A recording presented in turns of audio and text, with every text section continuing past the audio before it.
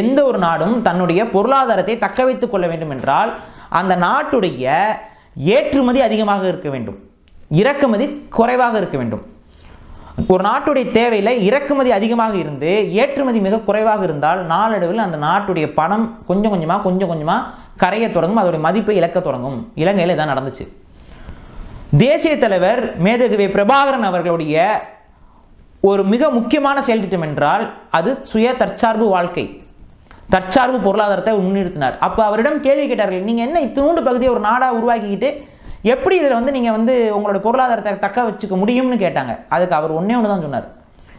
என்னுடைய கடற்கரையும் என்னுடைய வளமான மண்ணும் எனது பனை மரமும் போதுமானது எனது நாட்டுடைய பொருளாதாரத்தை நான் தக்க வைத்துக் கொள்ளனர். ஏன்னா அவ்வளோ பெரிய கடல் இருக்கும் பொழுது அது மிகப்பெரிய மீன் வளர்ப்பு பகுதியாக மாறுகிறது இயற்கையாக நீங்கள் மீன் அதிகமாக வளர்க்க முடியும். இயற்கையாகவே அங்கே மீன்பிடி தொழிலும் அந்த கடல் சார்ந்த தொழிலும் கடல் பாசி வளர்ப்பில் தொடங்கி நண்டு வளர்ப்பு இறால் வளர்ப்பு இறால் பண்ணைகள் இதெல்லாம் வந்து மிக சுலபமாக செய்யக்கூடிய ஒரு நில அமைப்பை கொண்டது தான் ஈழம். இலங்கையும் தான். அந்த கடற்கரை முழுக்க இப்போ நீங்கள் தமிழ்நாட்டுக்குள்ளே கடற்கரை ஒரு பகுதியில் மட்டும்தான் இருக்குது ஆனால் இலங்கை முழுக்க கடற்கரை தான். கொஞ்சம் யோசிச்சு பாருங்கள் இலங்கையில் எல்லா பக்கமும் இறால் பண்ணையில் தொடங்கி உணவு உற்பத்தி நீங்கள் எப்படி வேணாலும் பண்ணலாம். செயற்கை இறால் பண்ணை பற்றி நான் பேசல. இயற்கை இறால் பண்ணைகளை பற்றி சொல்கிறேன் நண்டு நண்டு வளர்ப்பு இயற்கை இயற்கையிலே பண்ணலாம் எல்லாமே. செயற்கையில் இன்றைக்கி கெமிக்கல் போட்டு பண்ணுறது நம்ம ஆதரிக்கல. அதே போல் தமிழ்நாட்டில் ராமநாதபுரம் ராமேஸ்வரம் இந்த பகுதிகளில் வந்து க கடலுக்கு ரொம்ப உள்ள தள்ளி கடல் தண்ணியை உள்ளே கொண்டு வந்து பண்ணுறதை நம்ம அனுமதிக்கலை. அதை ஏற்கலை. அது வந்து அந்த மண்ணை மலடாக்கி விடும் ஆனால் இலங்கையோட கடற்கரை ஓரங்களில் அதை செய்யலாம். அதே போல் தமிழகத்துடைய கடற்கரை ஓரங்களில் இவைகள் எல்லாம் செய்யலாம். அப்போ அது இயற்கை முறையில் செய்ய முடியும். அதை செய்து என்னுடைய உணவு தேவையை நான் பூர்த்தி செய்து கொள்வேன். அது மட்டும் இல்லாமல் பனைமரம் அதிகமாக நீரை அது தே பயன்படுத்தாது. அதே போல் அதிகமாக உரச்சத்து ஊட்டச்சத்து அது தேவைப்படாது. அதனால தான் பனங்காடு ரொம்ப ரொம்ப சர்வசாதாரணமாக வளரக்கூடிய ஒரு ம மரம். ரொம்ப பன பனை மரம் நோய் தாக்கி இறப்பது என்பது மிக மிக மிக அரிது. அவ்வளோ சீக்கிரம் அதுக்கு நோய் பரவாது. ரொம்ப ரிஜிட்டான ஒரு பிளான்ட்டு ரொம்ப பழமையான ஒரு செடி. அந்த மரம் என்பது அதோடைய பயன்பாடு. அதிலிருந்து கிடைக்கக்கூடிய நொங்கு பதனி அதிலிருந்து கிடைக்கக்கூடிய பனங்கிழங்கு அந்த கிழங்கை பயன்படுத்தி எல்லாமே செய்யலாம். பனங்கிழங்கை பயன்படுத்தி பல உணவுப் பொருட்கள் ஈழத்தில் மிக சாதாரணமாக செய்வார்கள். அதில் சில ஸ்வீட்ஸ்லாம் செய்வாங்க ரொம்ப டேஸ்ட்டாக இருக்கும். அப்போ அந்த மாதிரியான விடயங்கள் இது எல்லாத்தையும் அவர் செய்தார். மிக முக்கியமாக அவங்க விடுதலை புலிகளுடைய இராணுவ வீரர்களுக்கு இந்த ராணுவ வீரர்களுக்கு உணவுன்னு ஒரு பேக்கெட்டில் பண்ணி கொடுப்பாங்க. அவங்க என்னென்னா காட்டுக்குள்ளே மேட்டுக்குள்ளே அலையும் போது பசி எடுக்கும். அந்த பசிக்கு அவங்களுக்கு ரொம்ப ஹை கேலரி உணர்வாக உணவாக கொடுப்பாங்க. அந்த உணவாக வெளிநாடு ராணுவ வீரர்கள் அமெரிக்காவில் என்ன கொடுப்பாங்கன்னு பார்த்தீங்கன்னா சாக்லேட் தருவாங்க. ஏன்னா சாக்லேட்டில் வந்து ஹை கேலரிஸ் இருக்குது அதிக கேலரிஸ் இருக்குது சாக்லேட்டில் ஸோ சாக்லேட் அதிகமாக கொடுப்பாங்க. ஸோ சாக்லேட்ஸ் அதிகமாக வச்சுருப்பாங்க. காரணம் என்னென்னா வெயிட்லெஸ்ஸாக இருக்கும். ஈஸியாக கூட தூக்கிட்டு போயிடலாம். அது இல்லாமல் அதை கொஞ்சோண்டு சாப்பிட்டாவே பசி அடங்கிடும் தேவையான எனர்ஜி கிடைச்சிடும் அது சுகர் கண்டென்ட் அதிகம். அப்போ இந்த சாக்லேட்டு இலங்கையில் ஈழத்தில் எங்கே கிடைக்கும்? எங்கேயும் சாக்லேட் கிடையாது. அது கொண்டு வந்து இறக்கி பண்ண முடியாது.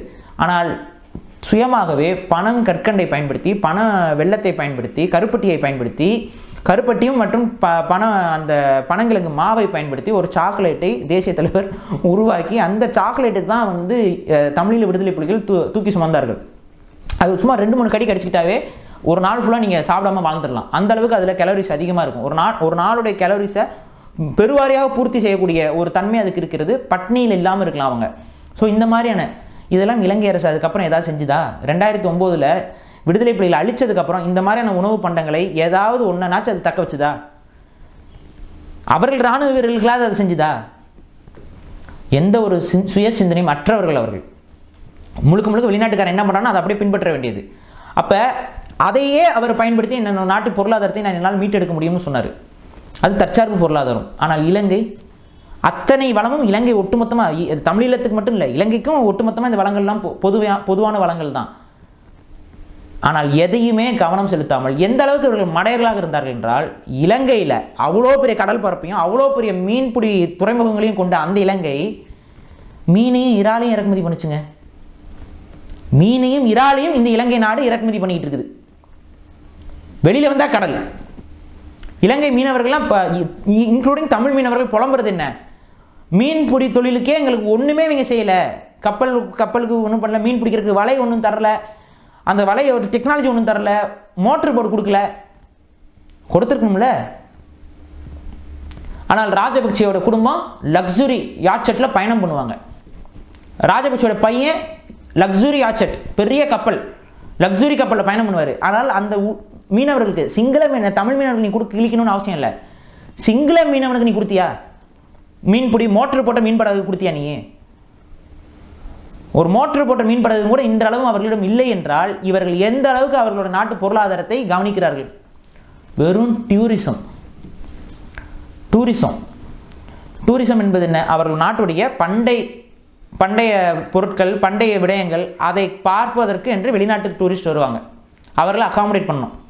அது மட்டும் செய்யலை. இவங்க ப்ராஸ்டியூஷன் முதற்கொண்டு எல்லாமே பண்ணிட்டு இருந்தாங்க.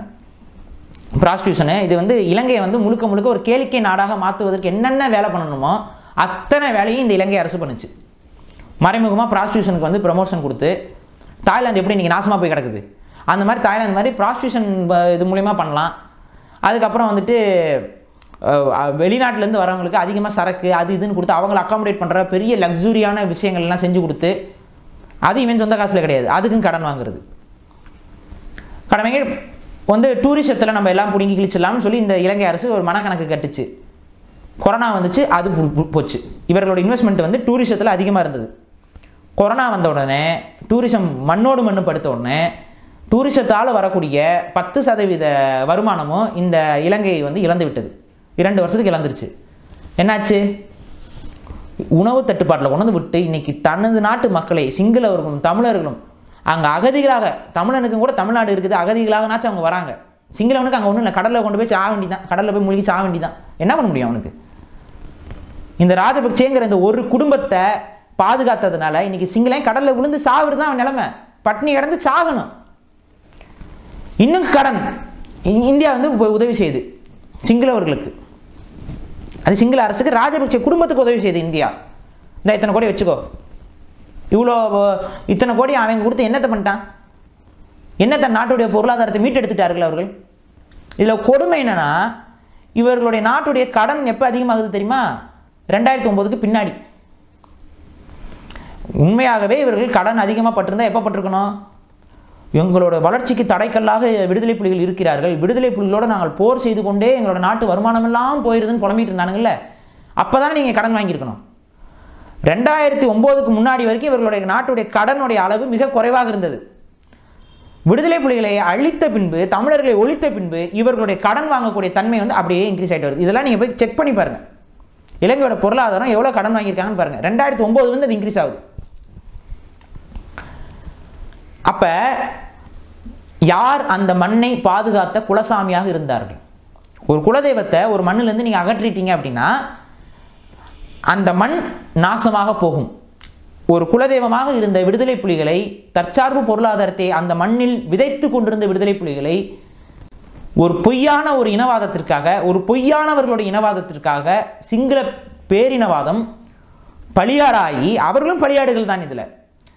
அன்னைக்கு வந்து பட்டாசு அடித்து கொண்டாடினாங்க.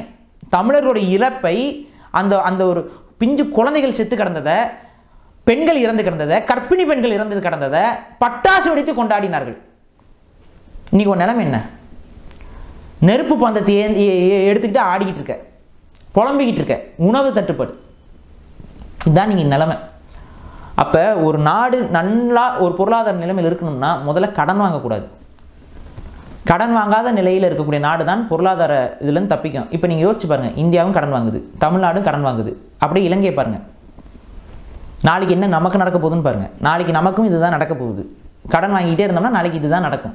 ஸோ கடன் வாங்காமல் தற்சார்பு பொருளாதாரத்தில் ஒரு நாட்டை வழிநடத்துவது எப்படி என்ப என்பது போன்ற சிந்திக்கக்கூடிய தலைவர்களுக்கு நாம் வந்து முன்னுரிமை கொடுக்கணும்.